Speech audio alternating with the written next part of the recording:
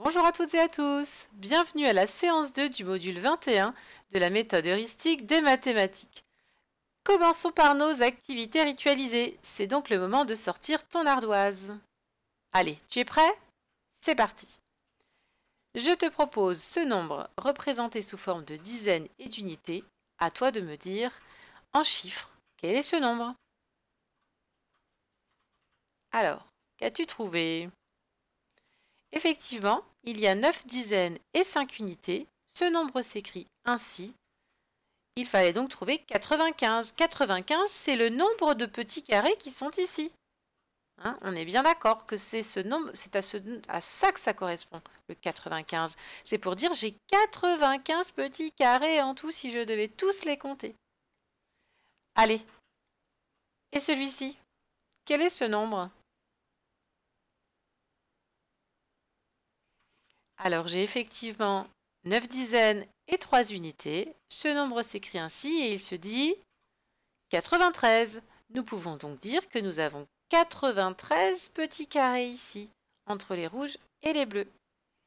Un dernier. Quel est ce nombre?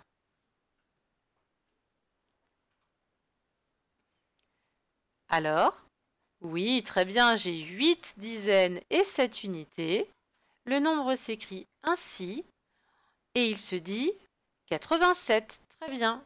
On peut donc dire que j'ai 87 petits carrés ici. Tu es prêt à passer à la suite? Je te propose une dictée de nombres. Donc tu m'écris le nombre et ensuite tu vérifies. Tu es prêt? C'est parti. Écris 68. 68. Lève ton ardoise. Alors, 68. La famille des... Quand on entend 60, c'est soit que ça va commencer par un 6, soit par un 7. Comme je dis 60, 8. Mon mot nombre derrière 60 est plus petit que 10. Il fallait donc écrire 68 ainsi. Allez, maintenant écris 83. 83. Vérifions. Quand j'entends 80, je sais que mon nombre va commencer soit par un 8, soit par un 9. Puisque j'ai dit 83, mon mot nombre qui vient après 80 est plus petit que 10. Ça veut dire que 83 va s'écrire avec un 8, 8 dizaines et 3 unités isolées. Allez, un dernier, je te propose 81. 81. Vérifions. 81, comme pour 83, il fallait l'écrire ainsi. Maintenant, je te propose l'exercice suivant. À partir de ces trois nombres, ou avec ces trois nombres, tu vas devoir faire un classement de ces nombres dans l'ordre croissant, c'est-à-dire je range les nombres du plus petit au plus grand. Tu fais une pause sur la vidéo et à tout de suite pour la correction. Alors, qu'as-tu trouvé? Effectivement, hein, pour comparer des nombres, là, tous ces nombres-là ont deux chiffres. On va comparer donc le nombre de dizaines. Dans 68, j'ai 6 dizaines. Dans 83, j'ai 8 dizaines. Et dans 81, 8 dizaines. Je vais donc prendre celui qui a le plus petit nombre de dizaines. C'est donc, très bien, 68. Ensuite, eh bien oui, Puisqu'ici, ces deux nombres ont tous les deux 8 dizaines, il va falloir que je regarde les unités isolées. Dans 83, j'ai 3 unités isolées et toujours 8 dizaines, alors que dans 81, j'ai 8 dizaines mais une seule unité isolée. C'est donc celui-ci qui est plus petit. Et évidemment, parmi ces trois nombres, 83 était le plus grand. On peut donc dire que 68 est plus petit que 81, qui lui-même est plus petit que 83. Je te félicite pour ce bon travail. Tu es prêt pour le calcul mental? Super, alors c'est parti. Quelques petites additions. À chaque fois, tu feras une pause sur la vidéo quand je lancerai l'addition et ensuite tu relanceras pour avoir la correction. 4 plus 5. Fais une pause. Qu'as-tu trouvé? Il fallait donc trouver 9 4 plus 5 égale 9. C'est un, une addition qu'il faut connaître par cœur. La suivante, 5 plus 3. Fais une pause. Alors 5 plus 3, c'est comme 4 plus 9, hein, c'est à connaître par cœur. Configuration des doigts de la main, 5 et 3, 8. 9 plus 4. Fais une pause. Alors 9 plus 4, tu te souviens, hein, le 9 va venir piquer 1 au 4 pour que lui, il devienne 10. Et comme le 4 a perdu 1, il est devenu 3. On peut dire que 9 plus 4, c'est comme 10 plus 3. C'est donc 13. Super. 6 plus 5. Pense au double. Fais une pause. Alors, pour faire 6 plus 5, je rappelle, là on a deux nombres qui se suivent, on a 5 et 6. On prend le plus petit, on fait le double du plus petit. 5 plus 5, 10. Et on ajoute 1. 10 plus 1, 11. Un dernier calcul. 7 plus 4. Fais une pause. Alors, comment as-tu procédé? Soit tu peux dire que 7 va venir piquer 3 au 4. On est bien d'accord 7, il a besoin de 3 pour devenir 10. Donc, le 7 va devenir 10 et le 4, il aura perdu 3. Donc, il va devenir 1. Ça fait donc 11. Tu pouvais aussi utiliser ta bande numérique ou éventuellement faire 4, bah, c'est faire 1, plus encore 1, plus encore 1, plus encore 1. Allez, super pour ce travail. On passe à la suite. Et je te propose aujourd'hui la séance d'apprentissage et tu vas pouvoir remarquer que nous allons faire l'atelier 3 par rapport au guide de séance. On fera l'atelier 2 euh, eh bien dans deux séances. Voilà. Tu es prêt? Aujourd'hui, nous allons aborder quelque chose de nouveau peut-être pour toi. C'est une technique opératoire de l'addition, celle de l'addition en colonne. Il existe plein de façons de calculer des additions. il y en a une qui s'appelle l'addition en colonne, dont tu as probablement déjà entendu parler. Intention. Dans un premier temps, nous allons nous entraîner avec cette, à, apprendre cette technique sur des additions qui sont normalement euh, pas faites pour être posées en colonne. Pourquoi? Parce que quand je vois par exemple 32 plus 24, elle n'a aucun intérêt normalement d'être posée en colonne puisqu'on est capable de la faire avec une autre technique qui est plus efficace, celle qu'on connaît en ligne, où j'additionne les, les unités et les dizaines ensemble. D'accord?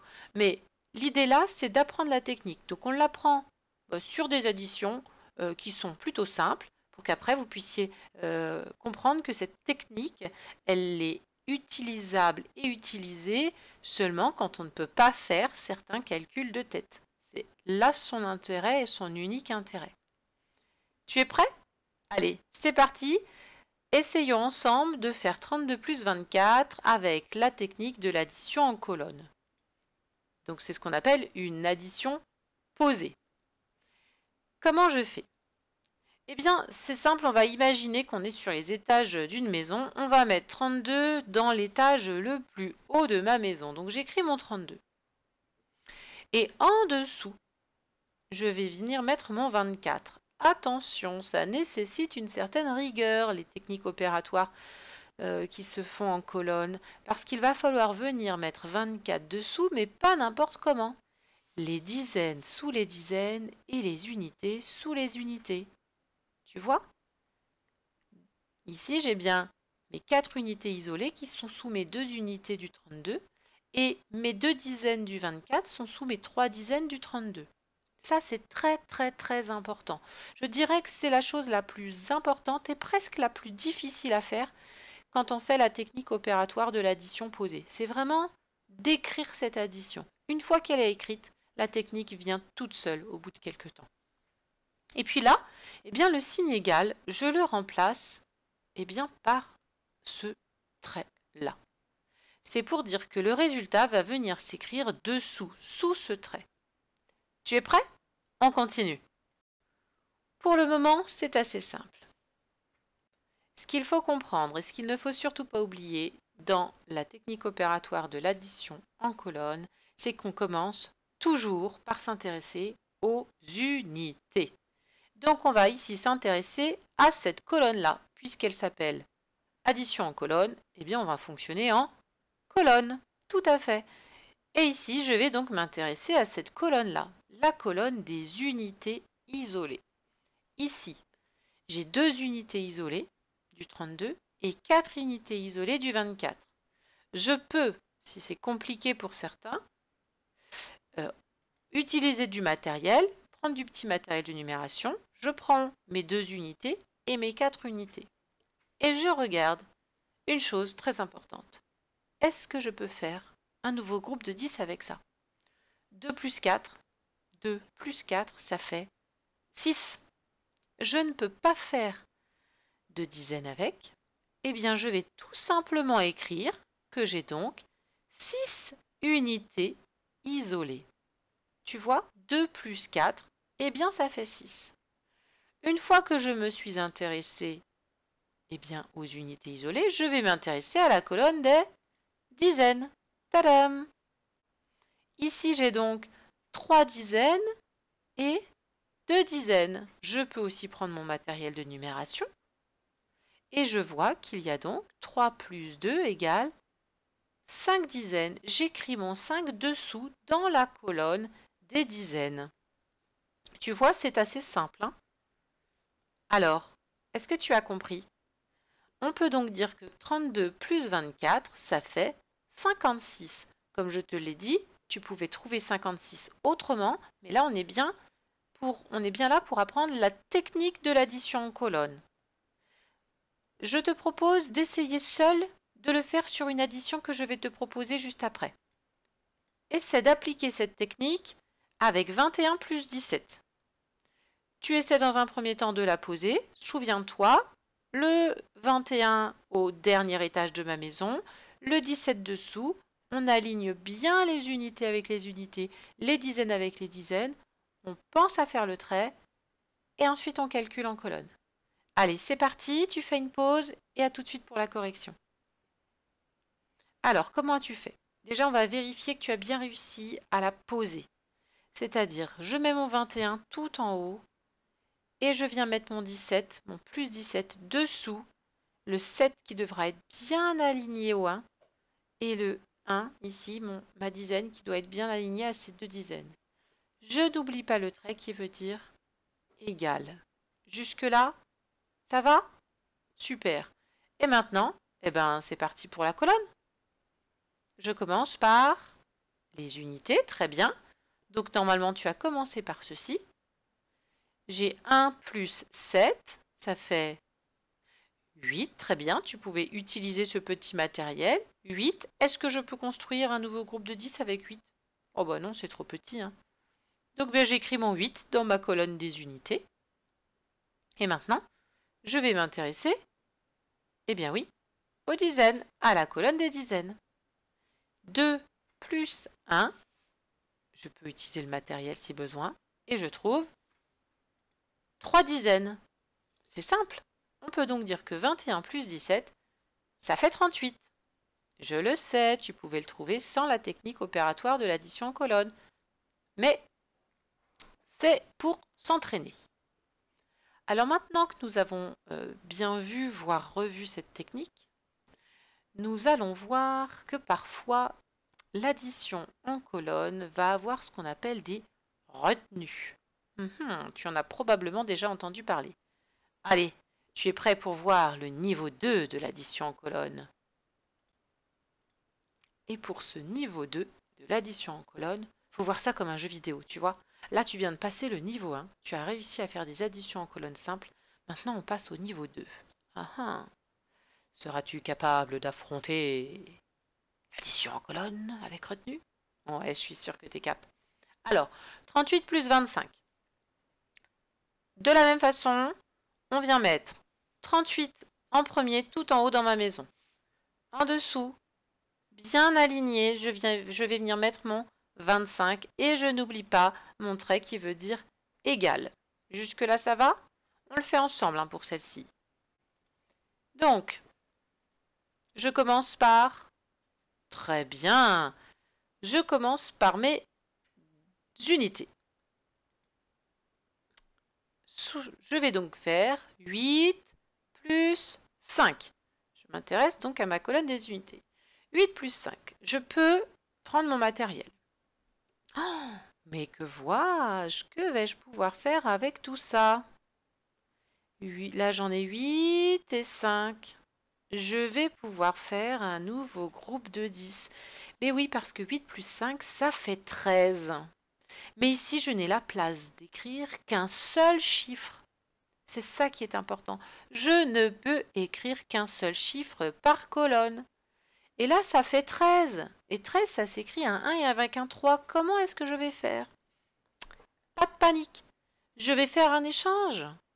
Ici, comme je peux échanger 10 unités isolées contre une dizaine, je vais le faire. Tadam Et maintenant? Eh bien, je vois qu'il ne me reste que... Eh bien oui, 3 unités. Et les 3 unités, eh bien je viens les mettre ici. Mais je n'oublie surtout pas que je viens de construire un nouveau groupe de 10. C'est ce qui va s'appeler la retenue. Retenue parce qu'il faut que je la retienne, il faut que je m'en souvienne. J'ai construit un nouveau groupe de 10. Mais lui, il n'a pas sa place dans la colonne des unités. Il doit aller chez les dizaines. Tu es bien d'accord? C'est pour ça qu'on vient placer dans la colonne des dizaines un petit 1 pour dire j'ai construit une dizaine. Je l'entoure en général pour dire attention, c'est une dizaine que j'ai construite, c'était pas une dizaine qui était là avant. Et je la note ainsi. Ça va? Et maintenant Eh bien, je vais m'intéresser à ma colonne eh bien, des dizaines. Il va falloir que je les compte toutes. Le 1, le 3 et le 2. Je dois compter toutes ces dizaines-là. Et oui, je peux éventuellement représenter hein, les dizaines. Donc là, j'ai mes trois dizaines du 38, mes deux dizaines du 25. Et je n'oublie pas qu'ici, j'ai une dizaine que j'ai construite. Ça me fait combien de dizaines en tout? 3 plus 2, 5, plus 1, 6. Ou bien on peut se dire que 1 plus 3, 4, 4 plus 2, 6. J'ai donc 6 dizaines. 38 plus 25 égale 63. Et là, tu viens de découvrir la technique opératoire de l'addition en colonne avec retenue. Eh oui Super, non? Ouais, moi aussi j'adore, j'avoue. Bon, allez, on essaie de le faire ensemble sur une autre? C'est parti. Je te propose 17 plus 14. Tu essaies de la poser sur ton ardoise? Tu fais pause On vérifie? Allez, c'est parti. Alors, comment tu fais Très bien, le 17 tout en haut. Ensuite, le 14 dessous le 17. Très bien. Et je n'oublie pas, oui, super, le trait. Et maintenant, je fais comment? Explique-moi. Super. Je m'intéresse d'abord à la colonne des unités. Je peux, si besoin, représenter avec mon matériel de numération les unités. Donc ici, j'ai 7 unités isolées du 17 et 4 unités isolées du 14. Je regarde. Est-ce que je peux construire un nouveau groupe de 10 mhm. eh Oui, parce que 7 plus 4, ça fait 11. Et je n'ai pas le droit de mettre deux chiffres ici. Comment vais-je faire? Eh oui, 11, je fais un échange. J'ai pris 10 unités que j'ai échangées contre une dizaine. Je peux donc dire ici qu'il ne me reste effectivement qu'une unité isolée, mais je n'oublie surtout pas, et ça c'est ce qui risquera souvent d'arriver, attention, c'est que j'ai construit une dizaine et je viens la mettre ici, dans ma colonne des dizaines. Attention les enfants, je vous le dis tout de suite, ça c'est ce qui sera le plus souvent oublié. Vous allez penser à faire l'échange, mais vous allez oublier parfois de la mettre, cette nouvelle dizaine, dans la colonne des dizaines, et du coup, votre résultat sera faux. Donc, pensez toujours à vérifier, est-ce que j'ai construit une nouvelle dizaine ou pas Maintenant, eh bien oui, parfait, je m'intéresse à la colonne des dizaines. Une dizaine plus une dizaine plus une dizaine, ça me fait trois dizaines. Je pouvais aussi hein, utiliser le matériel si besoin. Je peux donc dire que 17 plus 14, ça fait 31. Super. Bon. Je sens que le niveau 2 de la technique opératoire de l'addition en colonne est quasiment atteint. On vérifie? Allez, pour vérifier, je te propose de faire que tu fasses seul deux additions. Tu es prêt? Alors c'est parti. Fais une pause. Essaie de recopier donc ces additions et de les calculer. Et à tout de suite pour la correction. Alors alors, mérites-tu d'avoir ce niveau 2 de validé Vérifions. 24 plus 29. Je commence par les... Oui, les unités. Alors, je peux représenter si je veux. Enfin, je peux prendre mon matériel de numération, prendre 4 unités du, du 24, 9 unités, je ne sais pas ce qu'il fait, 9 unités du 29, et 4 plus 9, ça fait 13. Très bien, je peux faire un échange. Hop Super, donc si j'ai 13, j'ai donc ici 3 unités isolées et ma dizaine qui vient d'être construite. Ensuite, je m'intéresse à la colonne des dizaines. 1 plus 2, ça fait 3, très bien, plus 2, ça fait 5. Hein, je pouvais utiliser si besoin le matériel de numération. Et je trouve 5. Je vois bien que j'ai 5 dizaines. On essaie la suite? Allez, sans matériel. 6 plus 8. Combien est-ce que ça fait? 14. Très bien. 14, c'est donc une dizaine que je vais mettre dans la colonne des dizaines et 4 unités isolées. Donc, mon 14, il est là. Ensuite, je m'intéresse à la colonne des dizaines. J'ai donc 1 plus 3, 4, plus 2, 6. Bravo. Nous pouvons donc dire que 36 plus 28, ça fait 64. On vérifie avec le petit matériel? Regarde, je l'avais préparé quand même au cas où si tu ne me croyais pas. Ici, je peux donc construire une dizaine. Et puis mon 3, j'avais mes 3 dizaines ici, mes 2. Je vois bien que j'ai bien 6 dizaines hein, et 4 unités. On ne s'est pas trompé. Super. Alors, eh bien, tu l'as réussi ce niveau 2 de la technique opératoire de l'addition en colonne? Chapeau De toute façon, c'est une technique qui met du temps parfois à s'acquérir et qui sera revue quoi qu'il arrive en CE1. Alors, pas de panique, même si on est en fin d'année, tu sais très bien que il suffit de s'entraîner pour bien la réussir et de toute façon, elle sera revue en CE1. Mais ça n'empêche pas quand même de t'entraîner, hein Allez, je compte sur toi. À très bientôt pour une nouvelle vidéo.